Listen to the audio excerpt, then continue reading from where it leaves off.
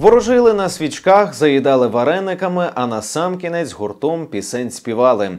У Кропивницькому молодь гуляла на Андріївських вечорницях. Колоритні посиденьки для хлопців і дівчат влаштували бібліотекарі.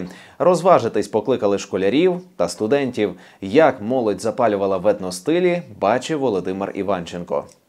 Андрій поспішає до бібліотеки на Андріївській вечорниці. Вхід на посиденьки у національних сорочках. Каже, власної вишиванки в гардеробі не мав, але щоб не пропустити свято, позичив у товариша. Цей орнамент був властивий на Західній Україні, і саме коли я надягаю цю сорочку, я відчуваю себе патріотом України. В мене піднімається такий патріотичний настрій, який дає міцності духу, так сказати. Обряди та традиції андріївських вечорниць сягають своїм корінням язичницьких часів. Святкувати наші пращури починали 13 грудня. На вечорниці збиралися неодружені парубки та дівчата. Разом виготовляли обереги для оселі. Одні з найпопулярніших Боже око. Кажуть, коли цей оберіг е, повісити е, в кутку чи над дверима на видному місці. Коли приходить людина із недобрими намірами, то ось е, ці яскраві кольори, оце ніби око вбирає в себе погану енергетику і таким чином оберігає свого господаря від всяких негараздів. Для виготовлення такого талісману потрібно 10 вільних хвилин. З підручних матеріалів знадобляться нитки та дві тонкі дерев'яні палички, складені навхрест, пояснюють маленькі майстрині. Ми беремо отак нитку, загортуємо її вокруг палки. Беремо оставшийся кінець, протягуємо їх на другу палку, зав'язуємо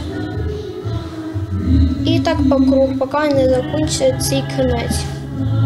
І так треба різними кольорами, поки не вийде готове, готове око.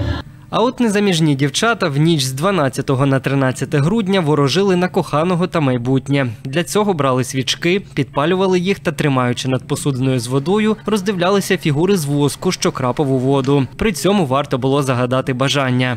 Отже, що ви тут бачите? Квіточку. Це означає, що навіть через 10 років ви будете завжди така молода, свіжа, виглядати як квіточка. Е, Тому у вас ще попереду ви ще будете розвиватися, цвісти, процвітати.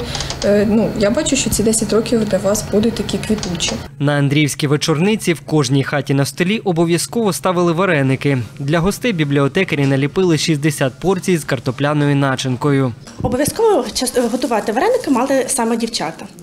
Е, обов'язково треба було їсти вареники. Чому? Тому що це дає нам можливість, щоб ми наступному році відчували себе щасливими. Справжні такі бандерівські вареники. Бібліотекарі говорять, вечірку в давньоукраїнському дусі влаштували, щоб познайомити молодь із традиціями наших пращурів. Ми хочемо нашому підростаючому поколінню е, показати, як це було. Тобто цього можливо не навчать в підручниках і цього не розкажуть, можливо, в школі.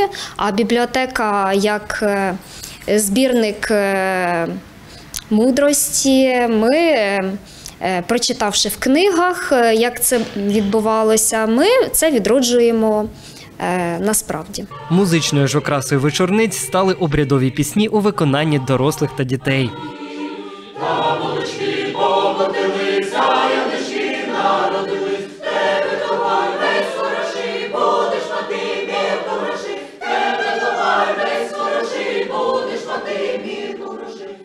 Володимир Іванченко, Олексій Овсянніков. Новини Правда тут.